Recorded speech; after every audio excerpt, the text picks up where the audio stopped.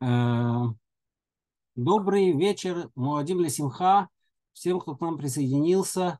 Э, мы сегодня поговорим о книге Коэлет, и это будет как бы э, некоторая прелюдия к тому, чем мы начнем заниматься, начиная со следующей недели, а со следующей недели мы уже впрямую начнем заниматься эллинистическим периодом, будем читать книги Маковеев.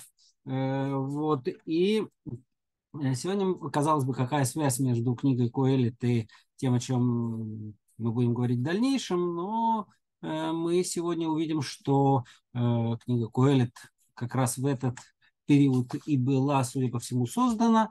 Об этом немножко позже. Выбор, конечно, еще и диктовался тем, что не более как два дня тому назад, э, то есть день тому назад, мы читали книгу Коэлет в синагогах. Это э, обычай читать книгу Коэлет в э, субботу, выпадающую в праздник Суккот, обычай, который распространился в основном в ашкенадских общинах, где-то с 11 примерно века новой эры. Э, по крайней мере, до этого нам ничего не известно об этом обычае. Э, вот с тех пор книгу Коэля читают э, в Сукот, и, естественно, отдельно станет вопрос, почему, собственно, ее читают в Сукот, какая связь, потому что если мы, скажем, посмотрим на другие произведения или так называемые свитки да, есть такое понятие в иудаизме хамеш мигелот или пять свитков. Э, не все из них самом деле свитки. Э, реальным свитком, по большому счету, является только свиток Эстер, который читается действительно в синагогах в Пурим э, с того, что называется клав, да, свиток, так же, как и книга Торы. Но как бы есть некоторая в традиции еврейское общее название пять свитков, в которые входит песнь песней, э, книга Рут, книга Эха, книга э, Эстера, книга Коэль.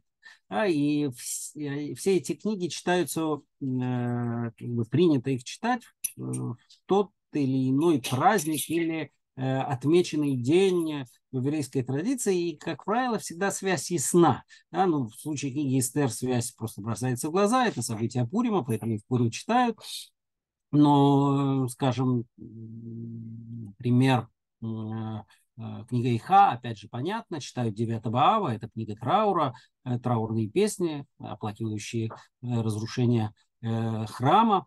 Вот Э, что касается книги Ширы Ширим и Рут, то там нет э, прямо заявленной связи с теми праздниками, которые их читают, э, то есть Ширим в Песах, а Рут в Шивот. Но есть как бы четкая и ясная традиция, да, что касается книги «Песен песни». Это книга, которая получила некий аллегорический комментарий, в рамках которого Э, любовь, описанная в этой книге, э, является аллегорией любви между Богом и народом Израилем, возникшим, возникшей в момент исхода из Египта, поэтому эту книгу читают в Песах.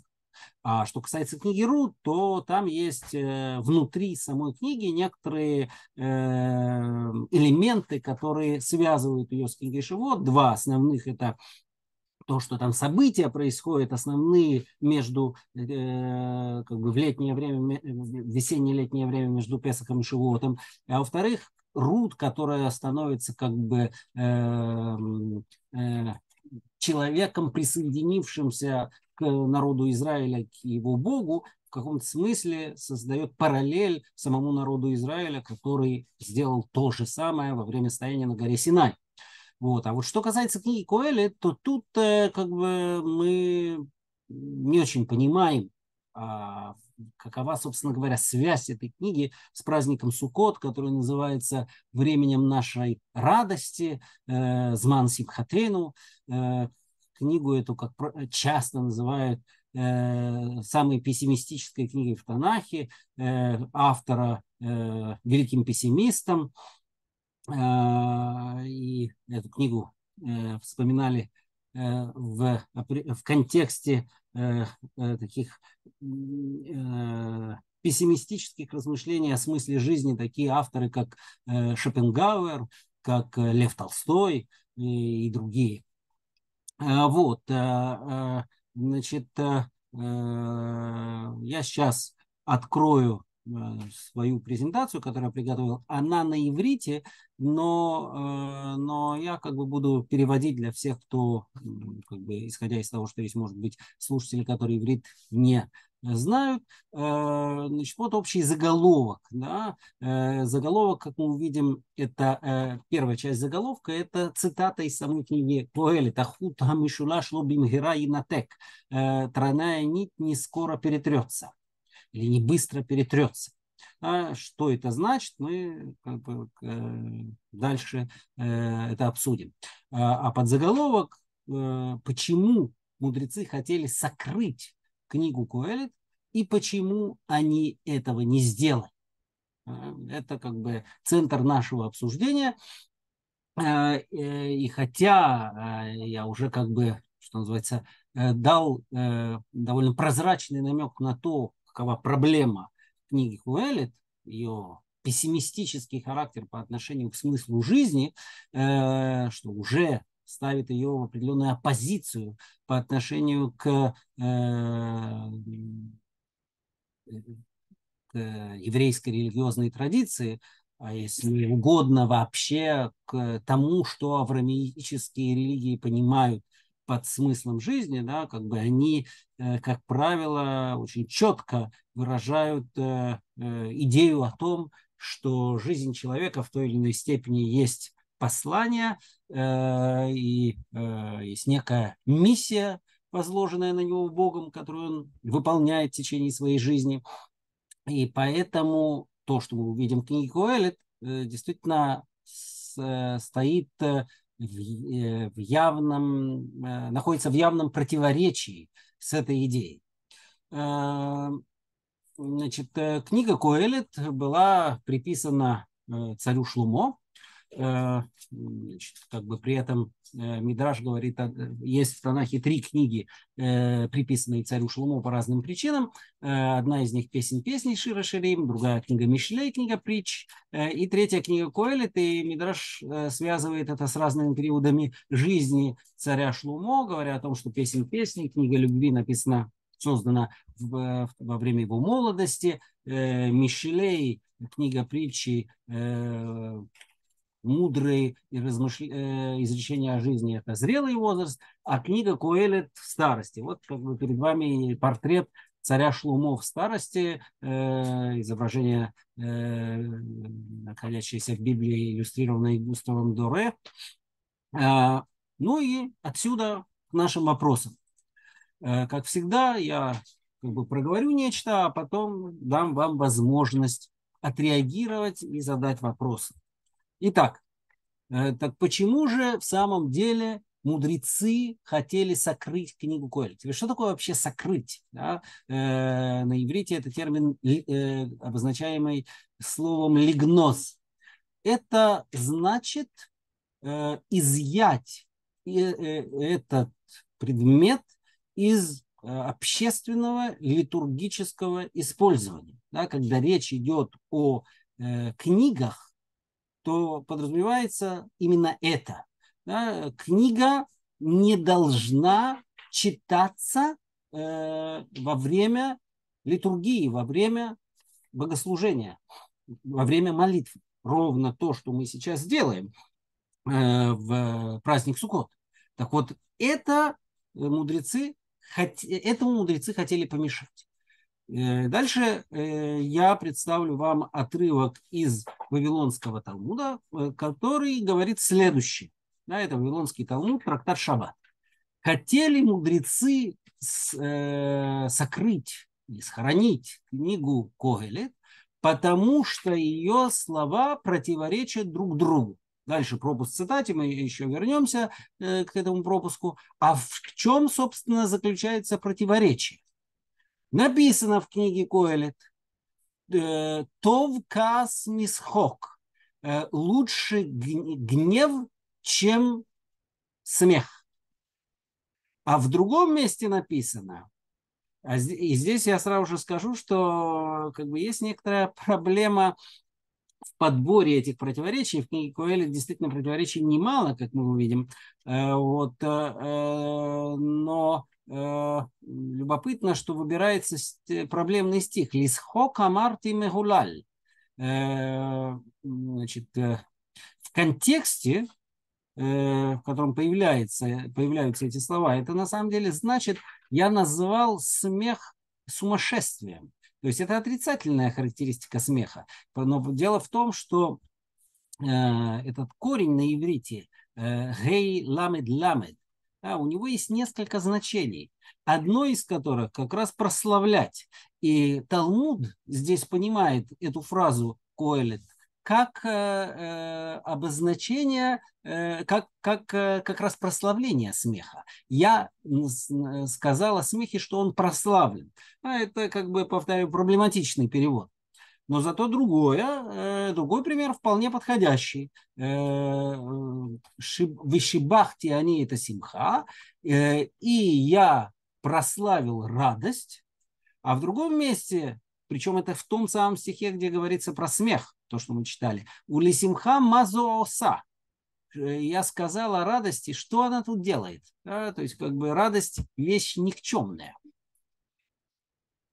Э, на самом деле, повторяю, э, противоречий в книге Коэлет всякий, кто читал ее, кто, например, вчера слушал, мог заметить, что противоречий в книге Коэлет гораздо больше, и э, эти противоречия касаются разных областей жизни. Мы сейчас одно из этих противоречий э, более подробно обсудим, э, но, э, э, скажем, иногда он прославляет смерть, иногда он прославляет жизнь.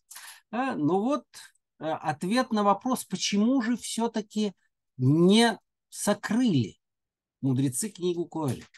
Э, это из того же самого места в Вавилонском Талмуде, вот тот пропуск. У Мипней Малогназуху. Почему же они его, эту книгу не сокрыли? Мипней Шитхилато Диврей Тора, Весофо Диврей. Потому что э, в начале начинается эта книга словами Торы и заканчивается словами Торы. Причем при этом нужно отметить, что само слово Тора в книге Куэлит ни разу не упоминается. Нигде.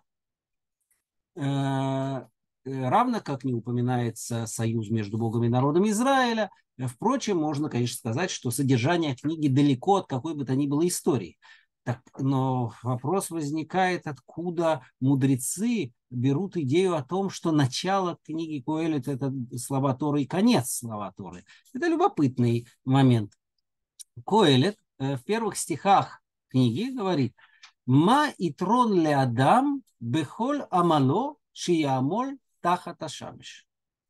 Э, каково преимущество э, в человеческом труде которым он занимается под солнцем. Это как бы такое, э, такая горькая ирония. Да? На самом деле нет никакого преимущества, нет никакого смысла в человеческом труде, говорит э, Коэлит, потому что все его усилия в конечном счете не приносят э, долгосрочных плодов. Э, потом это все неизвестно куда уходит. Э, что же делает здесь Талмуд? от имени э, Раби Яная, от имени Раби Яная, говорится так. Тахата шемиш уде эйнло. Кодем шемиш ешло.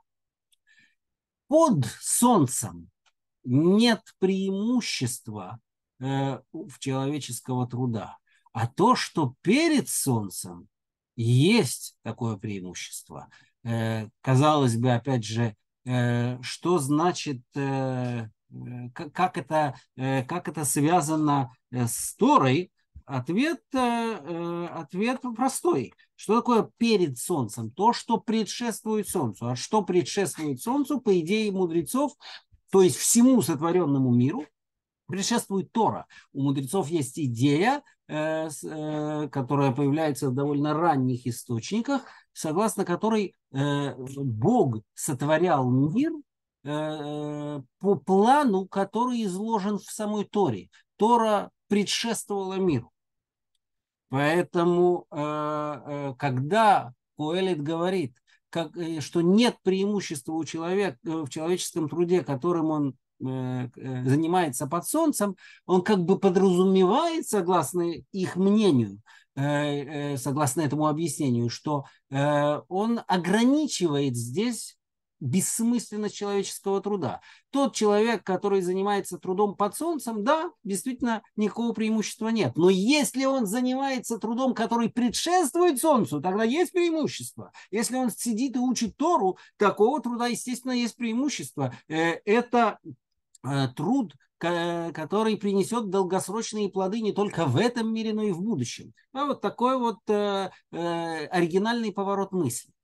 Что же касается э, конца э, книги Куэля, Софо Диврей Тора, э, говорится так, да, цитируется стих из книги Куэлет, Соф давар, аколь нишма, эд гаэлухим ера, Вед митцвотав шмор, кизе коль адам.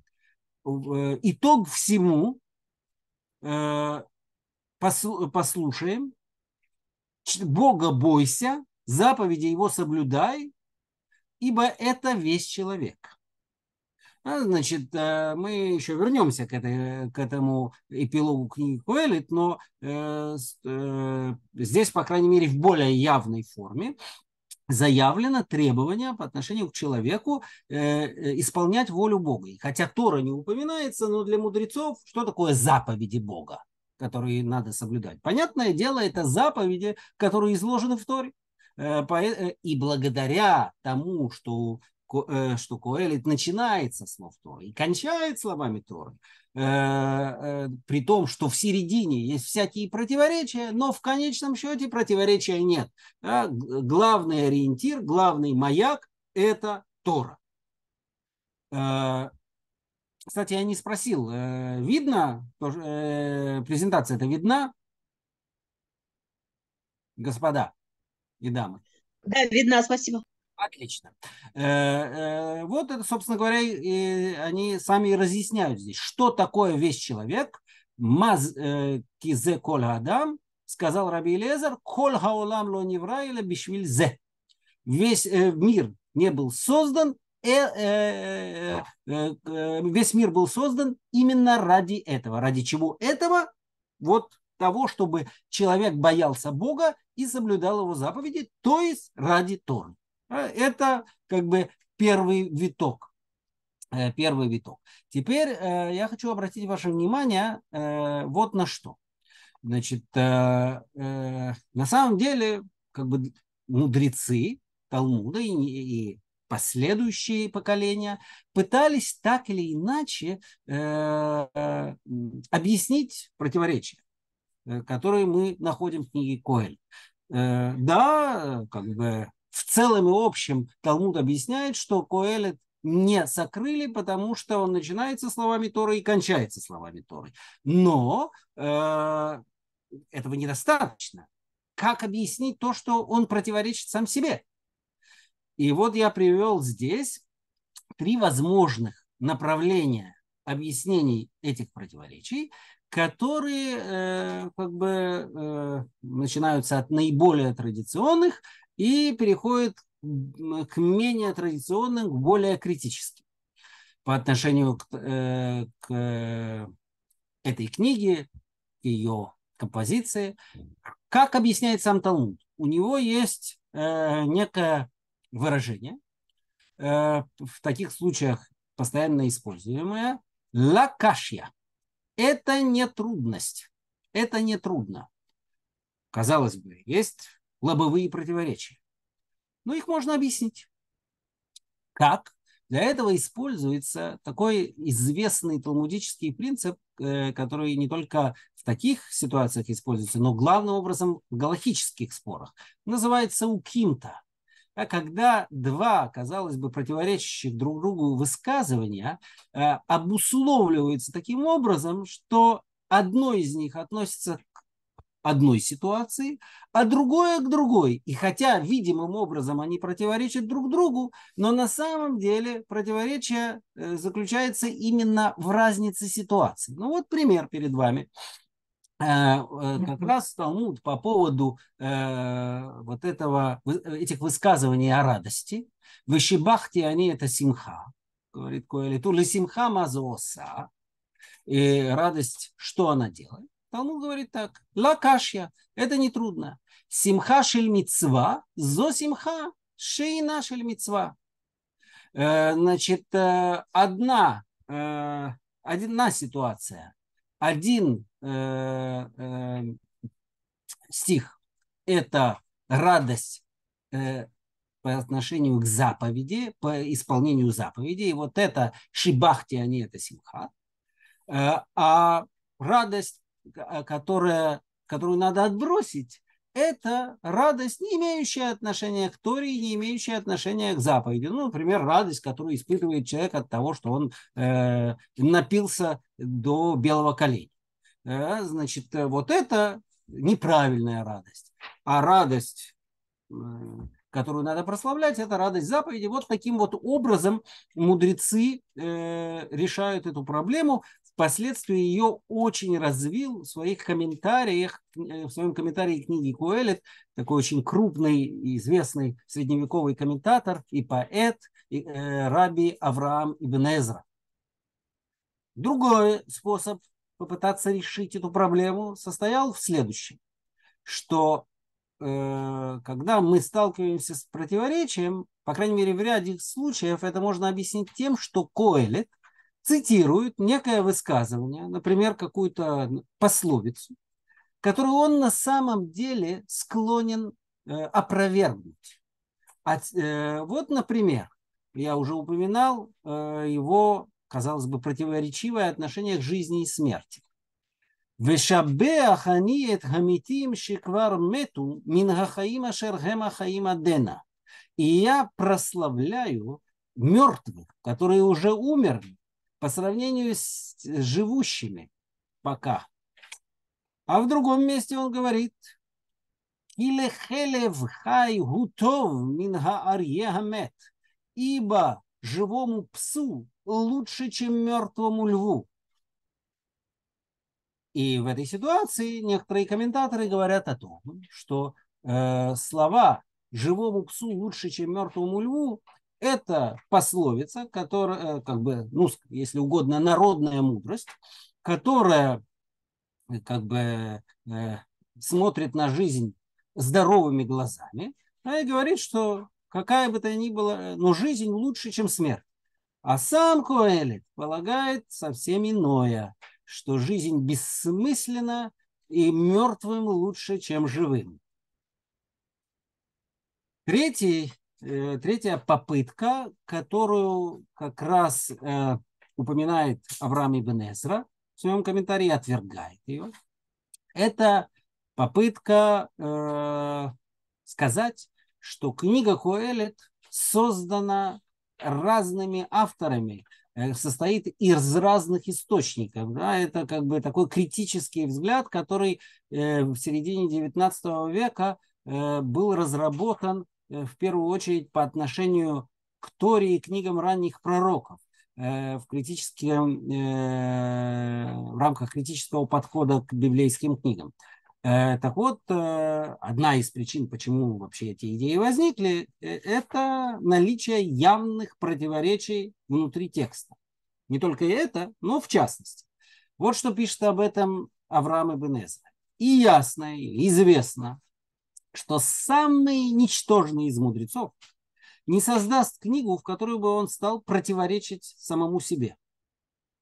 Э, и, и поэтому некоторые комментаторы предлагают э, понять слово «когелит» а мы еще вернемся к этому слову чуть ниже, да, э, значит, почему автор называет себя Коэлит, так вот, э, Ибн Эзер говорит, что некоторые комментаторы, кого он имеет в виду, не очень понятно, э, что Коэлит на самом деле надо понимать как Кейлат Яков, да, формула истории. Как, как раз мы будем читать Нурашат Кейлат Яков, то есть такая игра слов. Вместо Куэлит, Куэлит буквально собирающие, причем в женском роде, что любопытно. Кейлат Яков, община Якова, то есть это община создает книгу.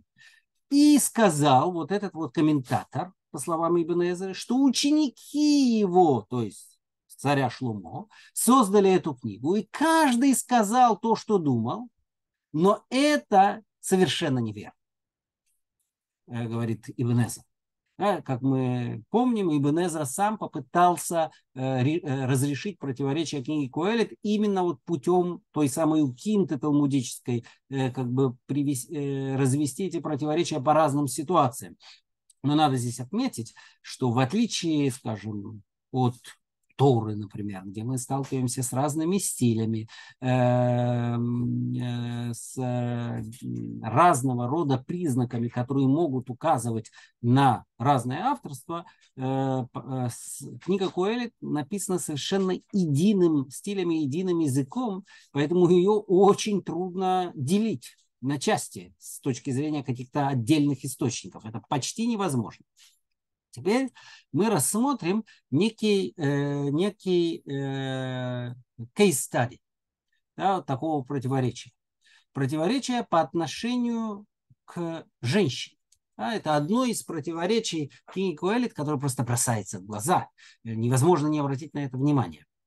Э, в главе 7 книги Куэлит написано, и я нахожу женщину горше смерти. У Моцеани марми мавит эт гайша. Она есть ловушка и сети, э, э, э, и сети ее сердца.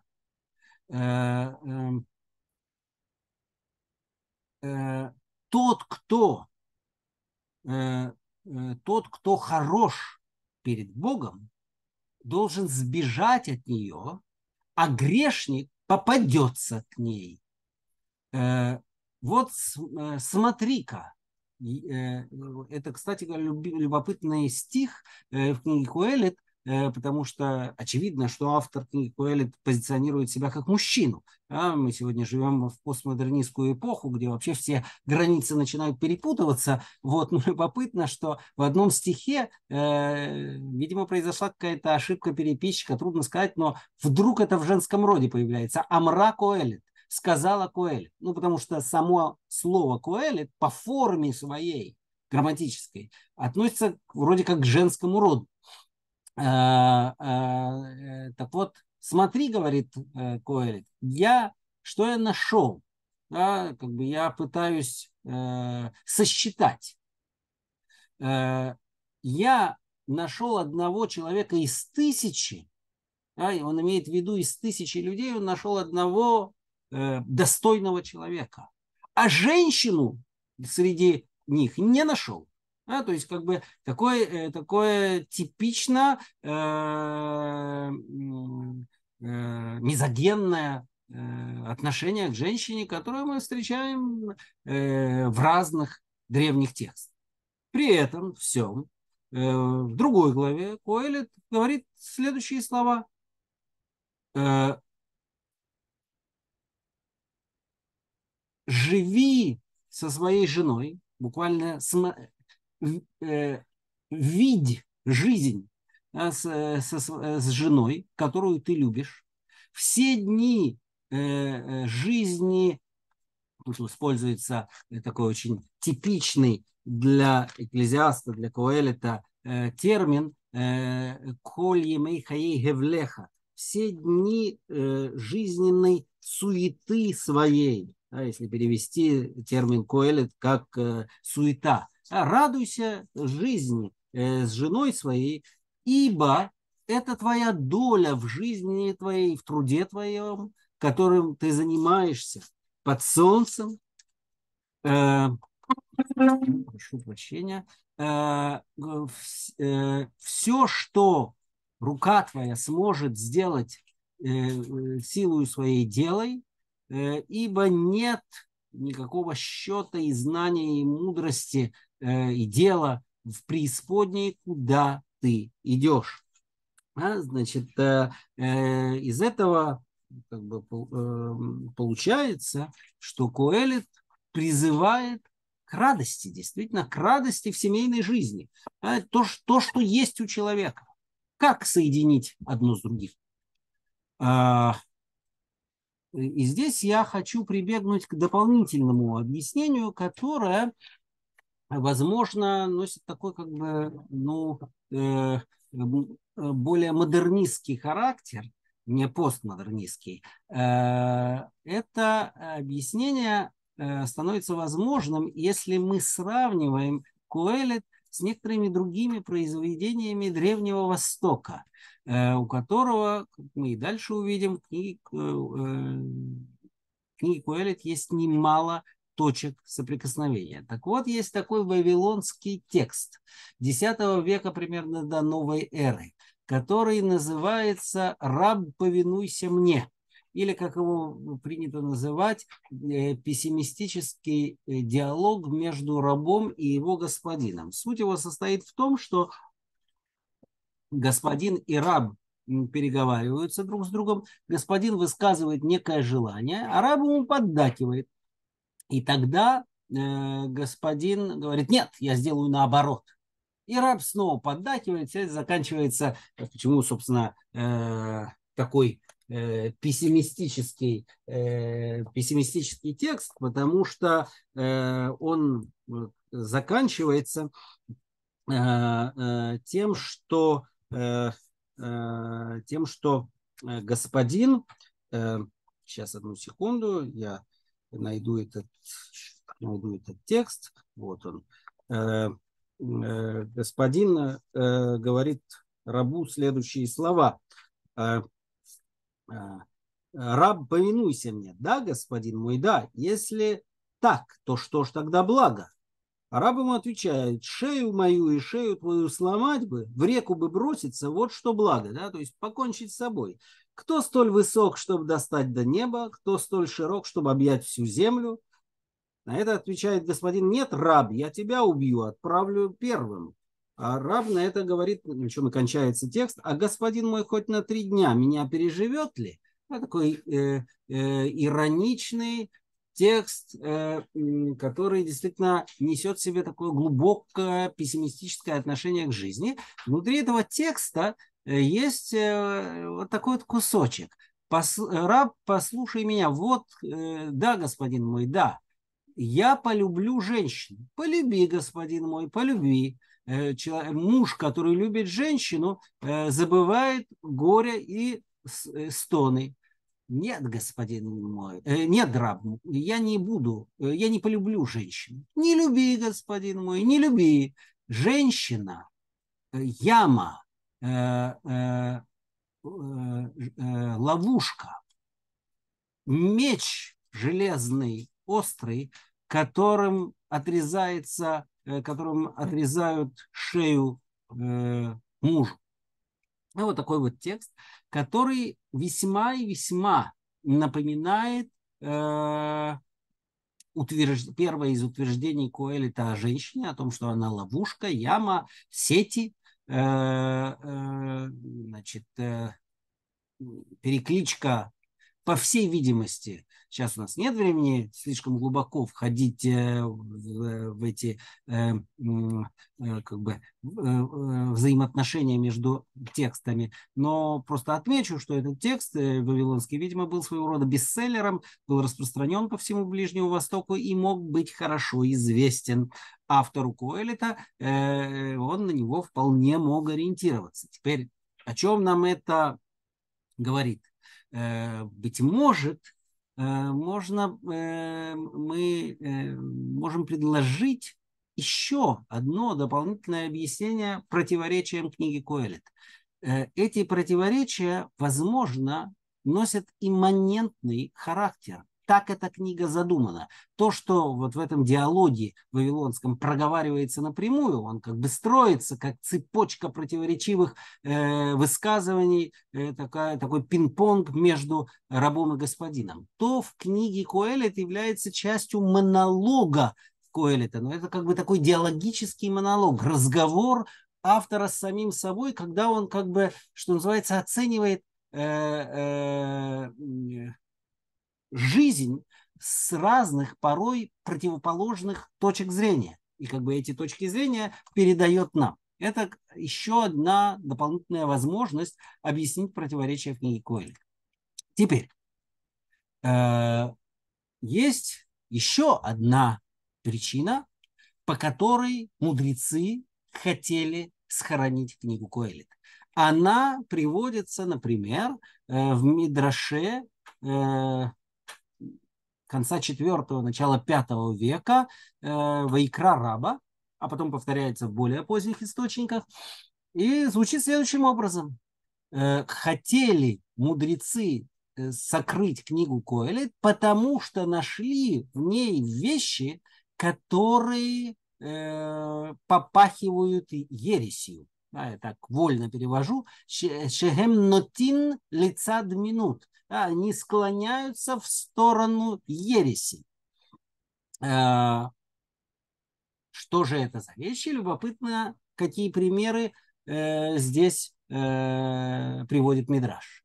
Сказали мудрецы, разве правильно было э, сказать Шлумо, радуйся, э, юноша, в, в детстве своем, пусть сердце твое будет приносить тебе благо в дни твоей юности. А это одиннадцатая, предпоследняя глава книги Куэлит. А ведь Моше сказал в Торе, «Велота туру ахарей левавхем ве ахарей нехем» не следуйте за вашим сердцем и за вашими глазами, вслед за которыми вы блудите. Аширатем зоним ахарегем. Да, это цитата из книги Бамидбар. А вот Шлумо в этом стихе продолжает и говорит, иди путями сердца своего и э, э за э, тем, что смотрят, видят глаза твои.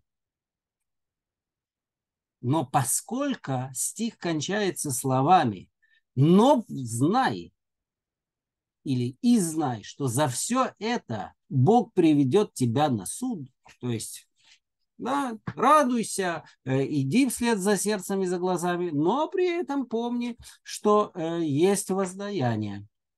Сказали, Яфе Амар Шлумо. Хорошо сказал Шлумо.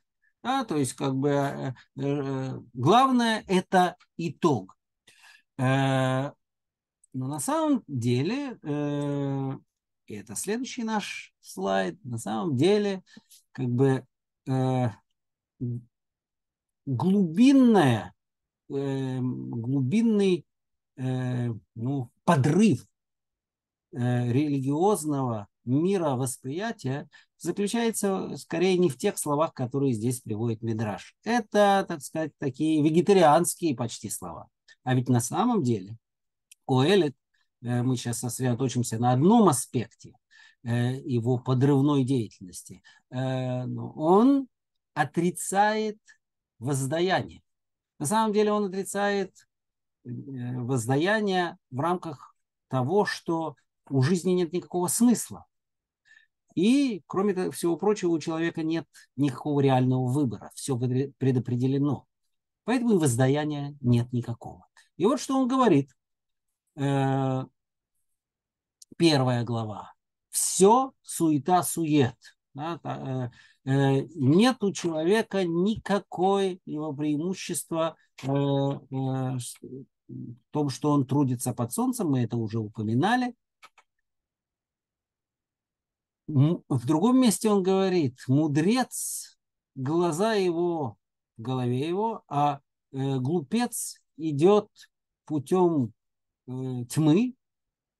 Да? Возможно, как некоторые считают, это вот один из примеров цитируемой пословицы. Но я знаю, э, что одна и та же судьба постигнет всех. То есть и мудреца, и глупца я сказал в сердце своем, как э, судьба, судьба глупца, так и судьба, или буквальный перевод случай, да, То есть все случайно. Это, это, э, э, как бы такая же судьба постигнет и меня, мудреца. И зачем же я тогда копил мудрость? Э, и сказал я в сердце своем, и это суета. Нет памяти ни, мудрец, ни о мудреце, ни о глупце навеки. Все забывается. Э,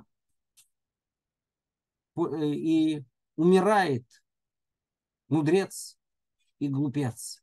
И я возненавидел жизнь, ибо было для меня злым то дело, которое делается под солнцем, ибо все суета и погоня за ветром или пастьба ветра. То есть вещь абсолютно абсурдная и бессмысленная. И еще один кусочек. Глава третья. Э, судьба людей и судьба животных одна и та же. Эти умирают, и те умирают.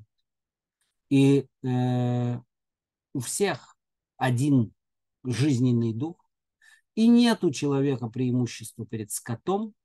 Все суета, все идет в одно место, все пришло из праха и возвращается в прах. И кто знает, поднимается ли дух людей наверх, а дух э, скотов спускается вниз под землю. Мы на самом деле не знаем, э, так это или нет. А, э, значит, мы видим здесь, что э, Коэлет в таких крайне резких выражениях отрицает э, смысл человеческой жизни и э, э воздаяние. Э, в другой главе, которую я здесь не привел, он говорит о том, что одна и та же судьба постигает праведного и грешного. Э, это как бы действительно ну, самый э, взрывоопасный заряд, который заложен в книге Коэля, и который действительно э, встает в совершенно неразрешимое, по сути дела, противоречие с религиозным взглядом на жизнь, который, повторяю, базируется в первую очередь на идее о том, что жизнь имеет смысл и что человек, повторяю, э, находится в послании. Э, он э, выполняет божественную миссию, которую он может исполнить, а может и отринуть, за что как бы полагается воздаяние, опять же, неравное. Все это автором книги Коэлет отрицается. Э, и даже когда он говорит о радости, э, эта радость, она омрачается тем, что э, на самом деле радость это вот те немногие отпущенные людям дни, а, потому что потом нет ничего.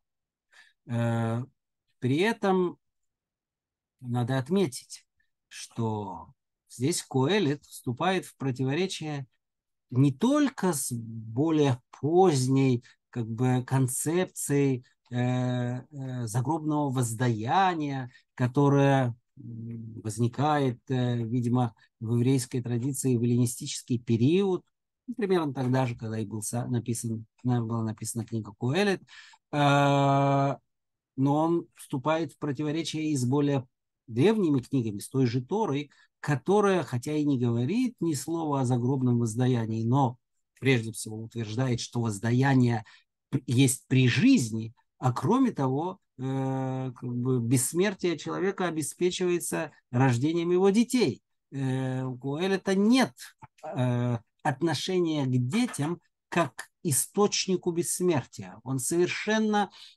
не видит это таком свете. Э, значит, э, здесь э, мы подходим к вопросу о том, кто же был этот мудрец, этот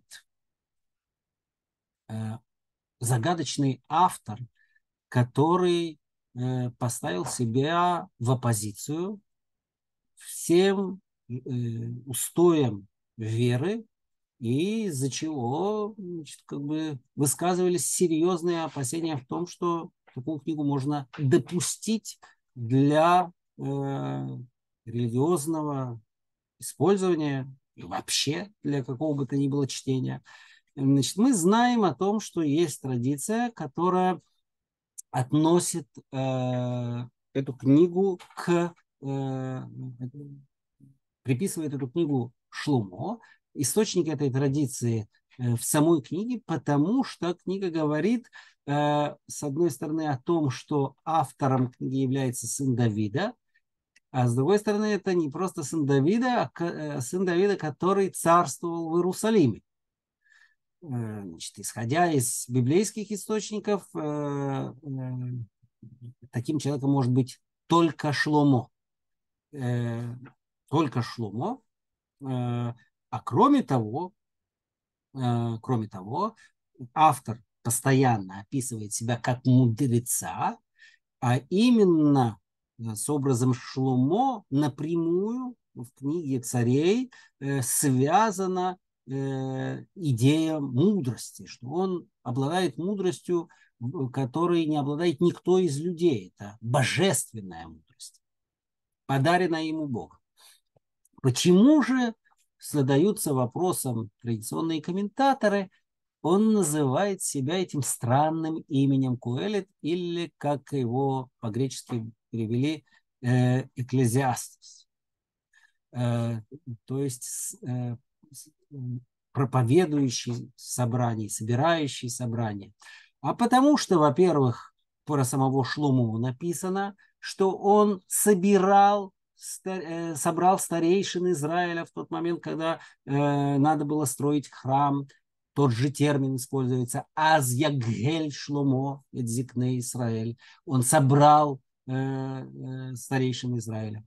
Кроме того, э, в связи с праздником Суккот как раз э, в книге Дворим говорится, что праздник Суккот, который э, происходит по истечении семилетнего цикла, нужно собрать весь Израиль и читать им текст э, э, Торы.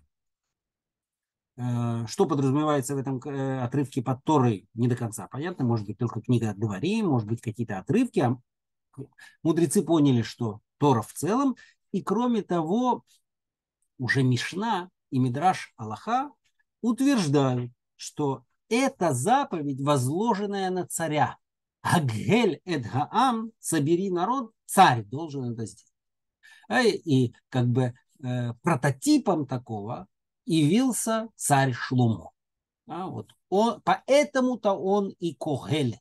Э, это не объясняет стран, э, странности грамматической формы этого имени, но тем не менее как бы дает нам некоторое, некоторое объяснение. Теперь проблема заключается в том, Э, ну, можно, конечно, подвергнуть сомнению то обстоятельство, что Шломо, живший в X веке до новой эры, выражает вот такие вот философские идеи, э, которые, э, ну, что первое приходит в голову, когда мы читаем некоторые из его изречений в книге Коэлет, в голову приходит в основном там какие-то Э, приходят э, идеи, известные нам из греческой философии, например, из эпикурейской философии, которые говорят, что э, значит, главное это избегать страданий и боли, радоваться той жизни, которая есть. Я так огрубляю, но это идеи, которые действительно похожи на определенные изречения Коэлита. Но главное состоит в том, что язык книги Коэлет, язык книги Коэлет есть язык поздний, поздний э, язык э, э, конца эпохи второго храма. Я не буду сейчас как бы, приводить все эти примеры, я только укажу на то, что тут есть выражение, очень много выражений. Эта книга написана на иврите, и тем не менее она изобилует арамеизмами. Такое количество арамеизмов могло появиться только в произведении, э, которое появилось уже в персидскую или в эллинистическую эпоху. В этой книге есть действительно персидские слова, такие как пардес и питгам, которые, опять же, раньше не могли появиться, да, сад и э, при, э, э указания. Э, есть слова, которые используются автором книги Куэлет, и э, э, это слова, распространенные в языке мудрецов. Да, вот я тоже тут привожу примеры. Есть какие-то совершенно особые слова, которые свойственны именно э, э, автору книги Куэлет, которые являются его новшествами и нигде ранее в таком значении не использовались. А все это вместе приводит к выводу о том, что книга э, создавалась через много столетий после жизни царя Шлумо. Э, в свое время я слышал такую шутку от одного из своих учителей, когда его спросили, как совместить идею позднего библейского иврита с традицией о том, как что Шлумо автор книги Куэлит, ответ был такой, царь Шлумо написал книгу Куэлит на позднем иврите Беруаха Кодыш да, значит, э, как бы э, дух святости, Божий дух э, направлял его так, чтобы он писал на позднем иврите. Это такая забавная шутка, но она выражает вот это глубинное противоречие между утверждением о том, что Шломо написал книгу, и тем, что язык этой книги очень поздний.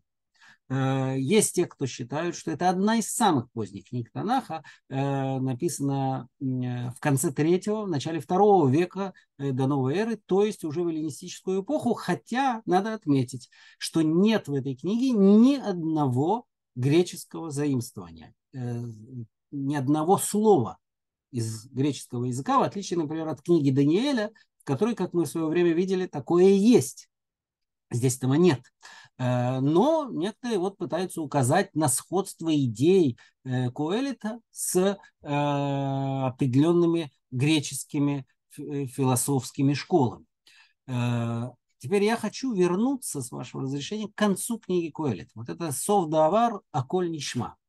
Книга Коэлит завершается неким эпилогом, которому предшествует поэтическое описание можно сказать, лирическое описание э, смерти человека. Да, очень грустное и в то же время очень возвышенное. И заканчивается это описание тем, с чего э, начинается э, книга. Хавель Хавалим, Амар Хакуэлит, Хаколь Хавель. Э, суета сует, сказал Коэлит, все суета. А, а после этого есть некий эпилог, который говорит примерно следующее. Я не буду переводить каждое предложение, но смысл такой, что Койлет, кроме того, что он был мудрецом, он на самом деле э, еще обучал народ и э, создавал много всяких притч. Э, он хотел э, узнать истину, но вообще-то следует остерегаться да, тут обращение к сыну. Э, Сын мой, остерегайся писать слишком много книг, потому что этому нет конца, и это истощает плоть. А на самом-то деле, э, как бы все мудрые слова исходят от одного пастыря, да, подразумевается, естественно, Бог. И вот тогда-то и появляются эти слова э, «Сов давара коль нишмает, гаэлухим ярава митцвотав шморки зе коль хаадам». К всему заключение, да, послушаем всему заключения, Бога бойся, заповеди его соблюдай, ибо это весь человек. Потому что все деяния, э, все деяния Бог приведет на суд, э, э, все, что было скрыто, доброе или злое. И надо сказать, что вот этот эпилог очень плохо сочетается с э, основным содержанием книги Коэлит. Поэтому еще довольно давно было высказано вполне резонное соображение, что это был один из способов сохранить книгу Коэлит, а не убрать ее из канона. Ибо э, невозможно было вот кончить словами все суета. Надо было кончить, как говорят мудрецы, словами Торы. А, Бога бойся и заповеди его соблюдай, ибо это весь человек. Э, таким образом, э, э, видимо, эпилог книги Коэлет был добавлен в более позднюю эпоху с тем, чтобы э, придать книге более, что называется, кошерный характер. Книгу могли сохранить, сокрыть, мы бы вообще ее потеряли. Но, слава богу, э, мудрецы были такими цензорами, которые стремились э, не уничтожать, а наоборот хранить. И, э, для этого использовали различного рода тактики э, и стратегии, э, толкования, добавок, э, пояснений. Э, завершая этот наш разговор, я хочу оставить время на вопросы и замечания. Я вернусь к началу, к заголовку. Э, э, тройная нить не скоро перетрется. Э, я хочу представить вам еще один прецедент связи между книгой Коэлет и древневосточной литературой, месопотамской литературой, хотя на самом деле ну, это отдельная тема, у, у книги Коэлет есть связи несомненные и с древнеегипетской литературой мудрости, есть тексты, которые это демонстрируют. Но вот э, у нас есть знаменитый текст, который называется «Эпоса Гильгамеш». Текст шумерского происхождения, который потом перекладывался на акадский язык, дошел до нас в разных родосписках, в том числе и вавилонском. И там э, как бы два героя, э, э, царь Урука Гильгамеш и дикий человек, которого окультурили по имени Энкиду, идут сражаться со страшным чудовищем по имени Хумбабве. И э, Гильгамеш пытается уговорить испугавшегося друга, что надо идти. Он говорит так, Э, э, скользким путем один не пройдет. Двое пройдут, двое, трое, они лучше одного. Тройная вервь не перетрется. Ты будешь мне помощником, а я буду тебе помощником, и никто, э, никто не сможет нас победить. А, значит, судя по всему, как полагают комментаторы этому тексту, вот этот образ тройной верви происходит из кораблестроения. Да? Это корабль, который тащит, э, тащит как бы на, трой, на, тройным, на тройном канате. Такой канат не скоро перетрется.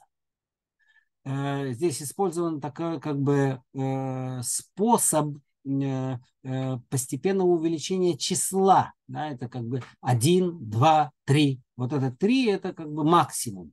Тройная нить. И вот этот же э, образ перекочевал в книгу Коэлет. Перед нами отрывок из четвертой главы книги Коэлет. Товим хашнаим мин хайхада шер ешлаем сахар тов баамалам. Лучше двое, чем, чем один. У них есть награда в труде. Потому что если один упадет, то второй поднимет своего товарища. А если он один, то ему некому поднять его некому поднять. И если двое лягут рядом, то один согреет другого, а одиночка как согреется? И если один одного, э, на одного нападут, то двое смогут выстоять против него. И тройная нить не перетрется скоро. Э, значит, вот это, как мы видим здесь, во-первых, тот же способ используется постепенного увеличения числа 1, 2, 3. Во-вторых, здесь используется тот же самый образ тройной нити, тройной э, веревки. И в-третьих, как бы э, так же точно, как и вот в этом тексте э, эпоса Гильгамеши, говорится о нападении э, на одного или на двух, и двое могут выстоять. Э, нет сомнения, что автор книги Хуэлит, кем бы он ни был, заимствовал этот образ из эпоса Гильгамеша. Эпоса Гильгамеша во всяком случае был бестселлером, отрывки его, из него находятся в разных местах на Древнем Востоке, найдены были археологами. А это как бы было ну, примерно то же самое, что и Илиада и Одиссея Гомера в греческом мире. Так вот, что с этим текстом сделали мудрецы? А? Как э, текст Когелета претерпевает изменения в литературе, в культуре мудрецов. Вот что говорит Мишна. Мишна из трактата Кедушин. Э, э, Мишна из трактата Кедушин э, говорит так. Всякий, кто выполняет одну заповедь, ему благодетельствует удлиняет его, его жизнь, да, это, естественно, Бог делает, и он наследует землю. Всякий же, кто не исполняет ни одной заповеди, ему не благод... его не облагодетельствует, не удлиняет ему жизнь, и он не наследует землю. Всякий, кто учит, буквально кто есть в э, Танахе, в Мишне, а также в хорошем поведении, Микра, Мишна, Ведерехерец, он не скоро согрешит. Как сказано, тройная нить не скоро перетрется. Всякий же, у кого, кто не находится в мире э, Танаха, Мишны и хорошего поведения, этот человек не принадлежит соб, э, собранию человеческому. Э, то есть вот эта тройная нить, почерпнутая из Э, мира кораблестроения в результате через Куэлит перекочевывает в мир мудрецов и становится символом трех основ, на которых э, стоит праведный человек, ведущий праведную жизнь. Это как бы то поучение, которое мудрецы смогли, что называется, вытащить из э, подрывной Э, оппозиционной по отношению к религиозному мировоззрению книги Коэлит. В результате книга Коэлит становится знаменем э, религиозной жизни. Это из области парадоксов еврейской религиозной герменевтической традиции. Ну, я здесь поставлю, с вашего разрешения, точку и готов ответить на ваши вопросы. Пожалуйста, вопросы, замечания.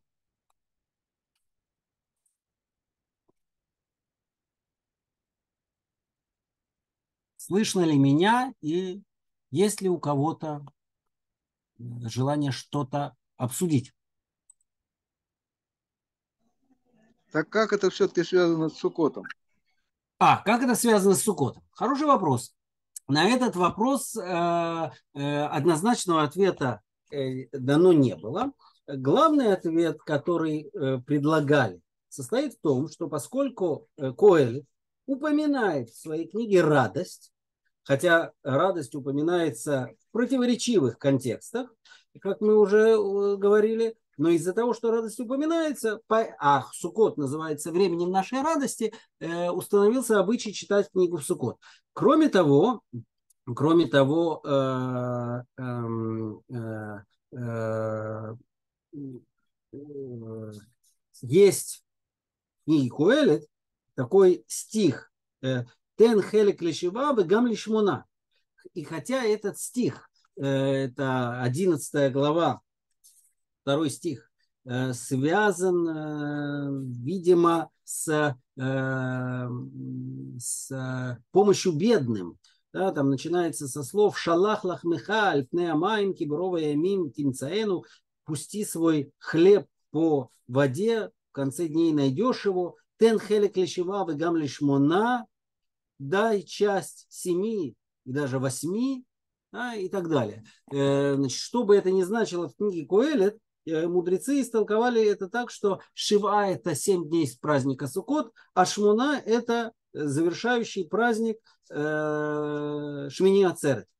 А, и таким образом значит, сделана попытка, э, попытка э, связать э, Суккот с праздником Ко, э, э, Коэли с праздником Суккот и Третье, как бы такое тоже обоснование, которое дается. Шлумо устраивает большой праздник в Сукот в связи со строительством храма. И вот, согласно еврейской традиции, именно тогда он, согласно одному из мнений, выраженных в еврейской традиции, именно тогда он и произ... Э, сочинил книгу Коэль. Э, вот. Но это все, конечно, такие э, объяснения, которые могут вызывать э, удивление. Э, но вот так вот сложилось, что э, Коэлит действительно читают Сукот. А вот с тем, что Сукат Давид Нафелит, это никак не связано? Смотрите, не э, смотрите, э, э, как бы, э, значит, сам по себе само по себе это утверждение Сукат Давид Ганофелит, оно взято из э, книги пророка Амоса. Э, в книге пророка Амоса это выражение появляется ну, в рамках некоего своего рода эсхатологического пророчества, того, что случится в конце дней. И там говорится, в тот день я подниму падающий Э, шалаш Давида.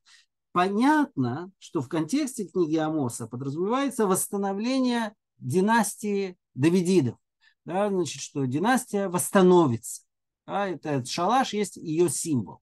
Значит, э, можно, конечно, попытаться сказать, что поскольку Шлумо сын Давида, и здесь упоминается шалаш, то это как бы дополнительная такая зацепка. Да, значит, вот э, шалаш-то Сукот, Давид, Шломо, ну вот, и мы читаем э, таким образом книгу Коэлет э, э, в Сукот. Но это как бы тоже такое косвенное очень э, обоснование.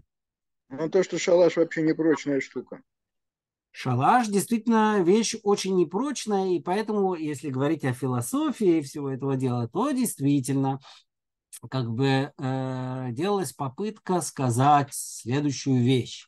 Да, тоже судите сами, что шалаш в каком-то смысле может символизировать человеческую жизнь, да, которая э, описывается в книге Куэлет как вещь действительно очень неустойчивая и непрочная, э, которая легко исчезает.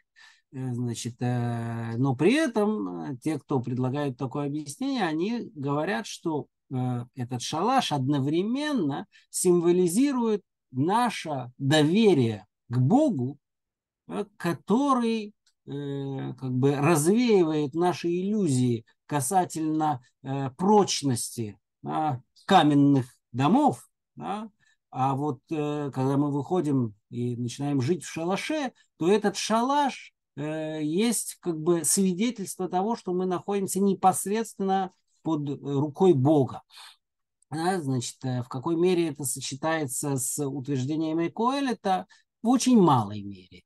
Но, опять же, попытки такого рода делались.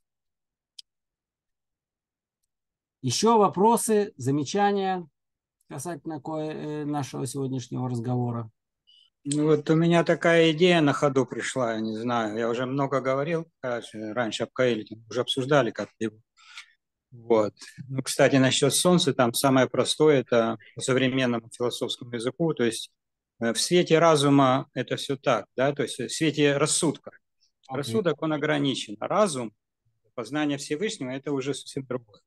Действительно, сука, она как бы символизирует то, что мы под сенью Всевышнего, символизирует шхину, где мы познаем Всевышнего. И вот у меня такая идея пришла, что поскольку Суккот это как бы праздник международный какой-то, да, там все должны прийти когда-нибудь вот, и поклониться Всевышнему в Суккот, все народы. Вот, здесь э, как бы я вспомнил про Иова, и Иова характеризует то, что он, ну, он не был евреем, известно, что он боялся Всевышнего, но он его не знал. То есть Всевышний должен ему открыться после очень больших испытаний. Э, вот. И здесь как бы тоже, э, если это учесть, что это как бы собираются и народы мира, вот, то, которые не знают, э, не познают Всевышнего, то у них, то эта книга, она выражает страх как бы перед Всевышним, да, то есть бойся Всевышнего, делай то, что... И она очень разумная и красивая, и все правильно. Она в этом смысле для других народов она достаточно убедительна. Вот. Но только в суке открывается значит, Всевышний. То есть это есть познание Всевышнего, когда человек начинает не только рассуждать, а когда он находится под сенью Всевышнего, и он как бы включает свой разум. Я боюсь, что эта книга скорее привлекательна не для народов, а для отдельных их представителей, э, скорее для людей, принадлежащих к интеллектуальной элите, которые готовы, э, если не разделить идеи Коэля, то, по крайней мере, их выслушать. Да, не зря вот я упомянул таких людей, как Шопенгауэр или Лев Толстой, которые очень интересовались этой книгой. Вот. А что касается универсального смысла э, праздника Суккот, то тут вы, конечно, совершенно правы. Э, впервые это было заявлено э, в рамках книги пророка Захарии, который тоже э, предлагает некоторое видение конца времен, и э, это видение сопровождается некой войной, которую ведут народы мира против Иерусалима, и кончается это их поражением, Э, у стен Иерусалима и э, требованием, что те, кто остались в живых, должны каждый год приходить в праздник Суккот и поклоняться Богу. Да, это такое действительно универсальное видение этого праздника, которое, между прочим, некоторыми христианскими общинами э, сегодня воспринимается не как пророчество, не просто как пророчество, а как указание к действию, и они, значит, как бы вот приходят ежегодно и проводят шествие в Иерусалиме. Вот, э, возможно, это универсальное видение Сукота связано с тем, что там говорится в книге Захарии, что те, кто не придут, у них не будет дождя. Э, и эта идея становится более понятной, когда мы читаем Мишну, которая эту идею развивает впоследствии, что э, Бехагни Донин Альгамаим. Да, значит, вот в праздник Суккот решается вопрос, Бог судит, кому дать дождь, а кому не дать дождь. И поскольку и такой праздник, как Роша Шана, праздник э, суд, э, день суда божественного, да, он тоже является универсальным. Это не только э, суд над народом Израиля. Это как бы получается такая цепочка от Роша Шана к Сукоту, постепенная, значит, как бы э, постепенное э, проведение суда над всем миром и э, вынесение окончательного приговора. Вот. Э, Еще если у кого какие-то вопросы... Я имею в виду, что, как говорится, если говорят, что у боев есть хахма, верь. То есть э, это, значит, э, хахма – это одно, а дат – это то, что свойственно евреям. То есть они могут не наслаждаться так этой книгой, ее значит, красотой, как Толстой, и Шопенгауэр, но она им понятна, она очень рассудочна. Она очень не как... знаю, я не знаю, насколько она всем понятна, она действительно рассудочна, это верно, но поскольку она изобилует противоречиями и вот такими очень сложными поворотами ума, то я не убежден в том, что любой человек э, скажет, что она целиком и полностью понятна. Она как раз очень сложна э, и очень непроста для восприятия, на мой, по крайней мере, взгляд. Вот, ну, дадим кому-нибудь еще возможность э, высказать, если кто-нибудь еще, кто хочет что-то сказать. Дима? Дима? Да, да, пожалуйста, Боря.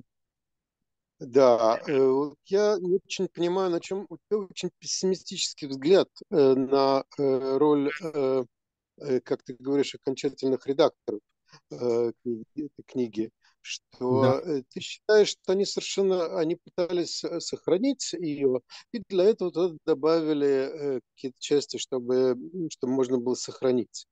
Вот. Мне, значит, мне как-то, когда я пытаюсь понять, э, понять, что понять это, у меня как-то возникает совершенно другая картина, что они э, совершенно понимали, что да, действительно, значит, мир э, э, совершенно противоречив, и противоречащие а. взгляды находят себя, значит, вместо. И, значит, э, только э, то, что они, может быть, добавили туда, значит, какие-то вещи ключевые по поводу, значит, этот эпилог, как ты говоришь, э, Савдовара да. Кольниш, с тем, чтобы э, общая линия не отклонялась от, эм, э, от э, э, эм, э, от того, что они бы хотели. Но, тем не менее, они допускают э, возможные противоречия, возможные альтернативные взгляды, которые являются частью э, того же мира. Значит, вот как-то, что... Ну. То есть то, что я говорю, мне кажется, не вполне, не, это не то, что у тебя прозвучало. Ну, я на самом деле имел в виду примерно то же самое. Я хотел сказать, что э, только ты оговорил, сказал Иов, речь идет, конечно, о Пуэлите, вот, но э, я хотел сказать, что вот этот эпилог, он действительно призван как бы, ну, что называется, смягчить такое тяжелое впечатление от Коэлита и сформулировать некоторую общую линию. Потому что с противоречиями, э, как бы, ну, мы видели, как можно э, решить этот вопрос да, с противоречиями, с отклонением в ересь. И тем не менее, значит, как бы э, ну, вот заканчивать книгу словами, что все суета, да, как бы повторить. А, очевидно, что это и была исходная концовка книги. Она как бы тут э, есть композиция инклюзио, да, начинается одними и теми же словами и кончается теми же словами. Э, вот, э, это было как бы ну, слишком резко, слишком тяжело такое как бы принять и как бы вот для формулировки какого-то такого общего и ясного взгляда который действительно, если как бы пользоваться терминологией Эмиля, он абсолютно рационален и прозрачен, значит, как бы это может примирить э, с э, противоречиями, да, которые действительно есть, противоречия в книге, их невозможно отрицать, но все-таки мы приходим к какому-то мото, да, как говорят на иврите, к какому-то вот э, четкому и ясному четкой и ясной формулировки, в чем заключается задача человеческой жизни. И это совдовар.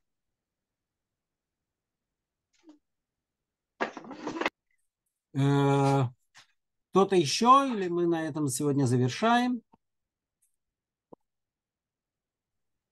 Извините, а есть какие-нибудь комментарии да, пожалуйста, по поводу а, какие-нибудь комментарии по поводу того, что суета это как бы то же самое, что Авель. Смотрите, имя, слово, я понял имя вопрос, да, я понял у кого очень Значит, трагичная судьба, скажем так. Про, правильнее сказать, что имя Гевель, оно происходит, судя по всему, от этого слова. Теперь слово Гевель буквально обозначает на самом деле пар. Пар, ну, в частности, пар, выходящий изо рта. Да, э, это буквальный, буквальный смысл, но Э, оно в Танахе получает дополнительные метафорические смыслы, которые действительно можно перевести э, термином суета. Э, теперь есть те, кто считает, что имя Гевель в Торе является символическим, и хотя только имя Каина толкуется напрямую, да? Мы сейчас не обсуждаем вопрос о том, что оно значит этимологически, но оно толкуется.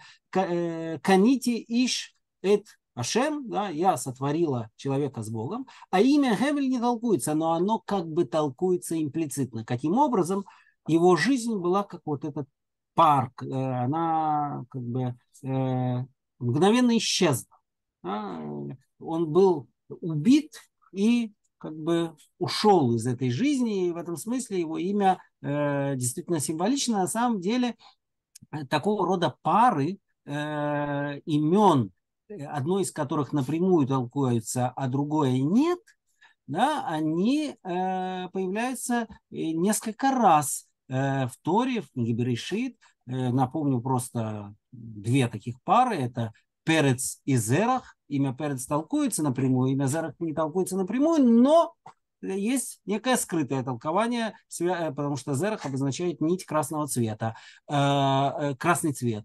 А, или, скажем, Яков и Исав. Имя Якова напрямую толкуется, имя Исава не толкуется напрямую, но там есть как бы некий намек на значение имени. Вот и так далее. То есть это, да, действительно связано, связанные вещи. Э, ну что, будем завершать сегодня? Думаю, что да. Э, хорошо, значит, э, я напоминаю снова, что здесь мы поставили на данный момент некую точку в нашем обсуждении текстов, которые вошли в Масорецкий выизвод, в тонах. Вот, и начиная со следующего занятия мы переходим к эллинистическому периоду, сделаем некое введение, прочтем два текста, а потом перейдем уже к маковейским книгам. Всем okay. спасибо большое и Спасибо. Всем Спасибо.